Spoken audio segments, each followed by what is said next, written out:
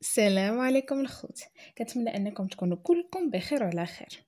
الفيديو اليوم غنهضروا فيه على مثلث برمودا أو برمودا تريانجل والمعروف أيضا باسم مثلث الشيطان وهو عبارة على واحد المنطقة كاينة في الجزء الغربي من المحيط الأطلسي الشمالي.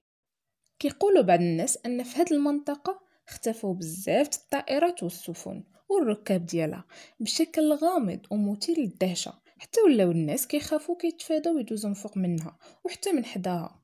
كيقولوا باللي سافر كريستوف كولومبوس من حدا هاد المنطقة بالضبط في الرحلة الأولى ديالو باش يكتشف أمريكا. شاف واحد اللهب كبير ديال النار كيظنوا بلي هو نيزك طاح من السماء. وتحطم تماك.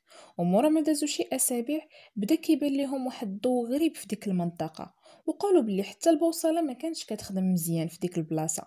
ولكن الناس بزاف كيامنوا بلي مثلث برمودا منطقة خيالية وأسطورية. وحتى مجلس الأسماء الجغرافية في الولايات المتحدة الأمريكية ما كيعترفش به. وما محتفظ بحتى شي ملف رسمي ديالو. أما البعض الآخر من الناس كيعتقدوا بلي كاينة شي قوات غامضة ومجهولة الهوية. هي المسؤولة على ديك حالات الاختفاء اللي ما عندها حتى شي تفسير. بحال الكائنات الفضائية مثلا اللي جات باش تستولي على البشر وتفسيرات أخرى كثيره منها اللي كيستند على أدلة ومنها اللي ما عندهم عليها حتى شي دليل.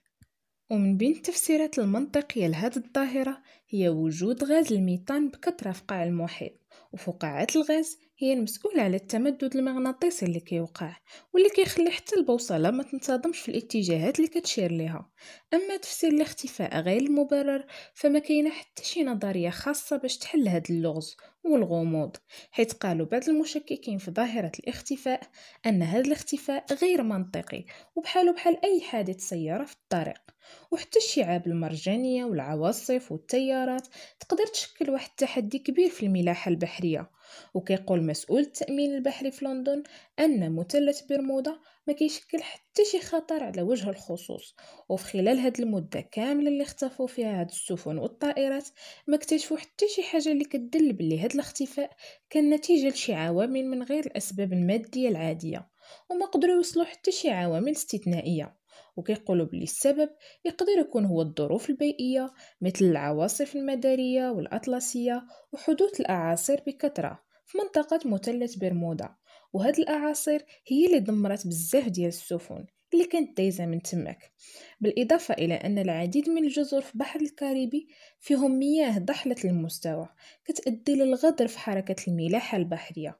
بالإضافة كذلك إلى أن المحيط كيتعتبر واحد المكان غامض بالنسبة للإنسان وكيولي قاتل ومميت إلى تجمعوا فيه العوامل الطبيعية والطقس غير المناسب. كما أن ديك المنطقة كتفتقر لعوامل الملاحة المناسبة. الشيء اللي كيؤدي لحدوث هاد الكوارث فيها أكثر من أي منطقة أخرى في العالم.